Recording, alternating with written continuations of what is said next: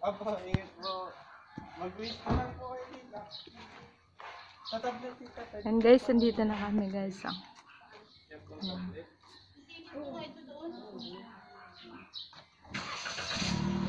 Sige naman, ako nang bahala dyan.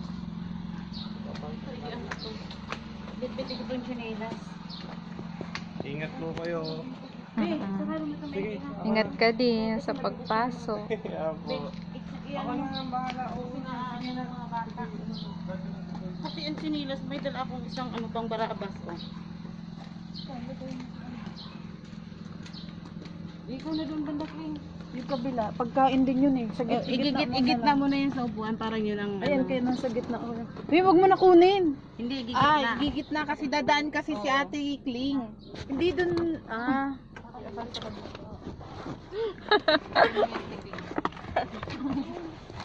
Ayan. Mati, iba na ang mukha mo. Oo, kay Christine Hermosa kasi ako pinaglihi eh. Stinger mo Dapat nag-shirt ka na lang. Si Rex nga, eh, sabi ni Rex. Yung bago ko ano, magpakapurma-purma ka pa. May sasakyan naman.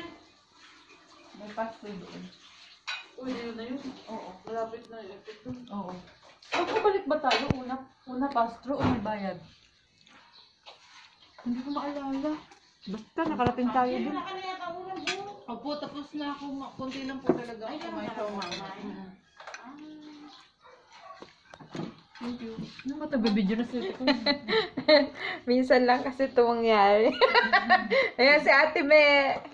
Good morning guys sa aking mga viewers. Oo nga. Welcome to my vlog. Ayan yung aming driver oh. Ay, ang sarap. Hindi kinakain ng dilis. Ang sarap. Tikme. Ano sumakit ngipin mo? Huh? Sumakit ngipin mo? Hindi na.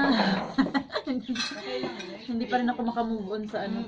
Sa Kaya mo lang, ganyan lang talaga. Hindi makamove on sa ano ni Hindi Marvin. ako makamove on sa nilagpas ko. Nakakahiya. Karating ng ibaan. Mukhang talagang diretso lang ako eh. Ha? Talo ka na yung Tekling. Nakarating na si Tekling. Sana pala nga. Maganda sana vlog yun nga pala. eh. Nakalimutan ko eh.